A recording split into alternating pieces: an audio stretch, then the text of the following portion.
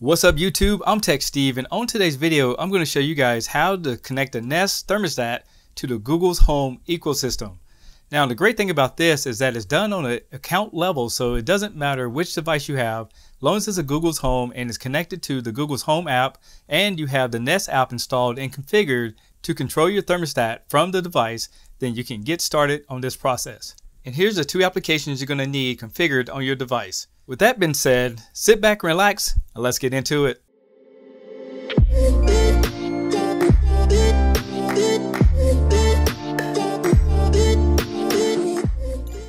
The first thing you want to do, just open up your Nest app just to make sure everything's connected.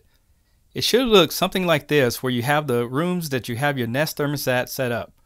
If you press on the room, you should have your temperature set and if you move it down in degrees, the air conditioner should kick on or your heater. When it connects, the screen will turn blue so you know that it is connected properly. Now you will need a username and password when you go to the Google's Home app. So let's go and open that up now.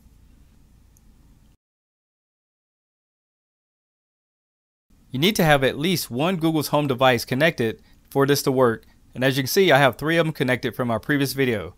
Now you want to go into Add, then press on Setup Device. Go to the bottom and press on Works with Google. From the top, you can hit the search bar and then type in Nest. And once you find it, go ahead and press on it.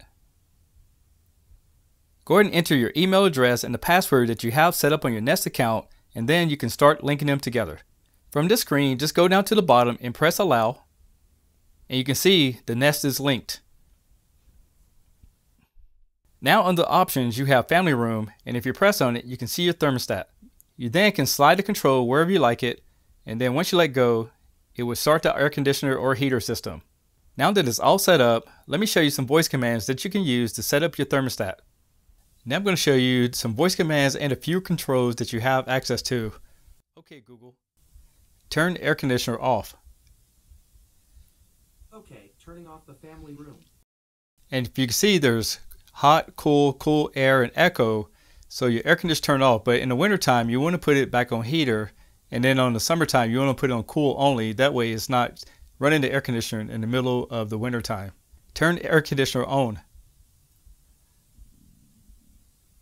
Okay, changing the family room to cool. And it kicked in. And now you can give it temperatures. Now let's give it some temperatures. Okay, Google. Turn air conditioner 70 degrees. Sure, setting the family room to 70 degrees. Turn air conditioner 75 degrees. Okay, setting the family room to 75 degrees. And there you go. And you can also hit the plus and minus to manually control it as well. Next thing I'm going to show you guys is how you can create a quick routine. So when you get home or get up in the morning, you can just give it a simple command and it'll go down a list of commands. So let me show you on the unit, you can drag this down and press routines just to get a general idea. Now I'm going to show you how to create a custom from the Google Homes app. With the application open, go ahead and press on routines. Next you want to press edit so you can control which one you want to use. In this case, I'm going to use the Lenovo demo. At the bottom of the screen, go ahead and press on manage routines. And for demonstration purposes, I'm going to go ahead and press on I'm home. Now, this is a list of trigger commands, and I'm going to show you how to add the thermostat and a few other features. The first thing you want to do is hit the checkbox besides any command you want to do. In this case, we're going to adjust the thermostat. Then press the gear on the opposite side. Then press the edit pencil beside the temperature. In this screen, you can select what temperature that you want to have whenever you wake up in the morning or leave or come back. Once that is selected, go ahead and go back to adjustments. Next, I'm going to add broadcast I'm home. And then I'm going to press add action just so it gives me the weather as well. Once you enter the command, go ahead and press add. Next, I'm going to press on change order and just drag them into the position that you want them to be. With this configuration, it's going to tell all my Google devices that I'm home.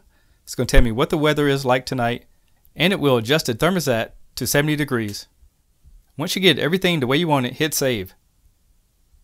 This could take one to five minutes to configure on the server, and once that's done, I'm going to give it the command that I'm back home and see what it does. Okay, Google, I'm home. Hi, welcome home. Tonight in San Diego, it's predicted to be 68 and clear. Right now it's 71 and clear. Incoming broadcast. It says, I'm home. It told me the weather, it broadcast that I was home, and it turned on the air conditioner all automatically with one command.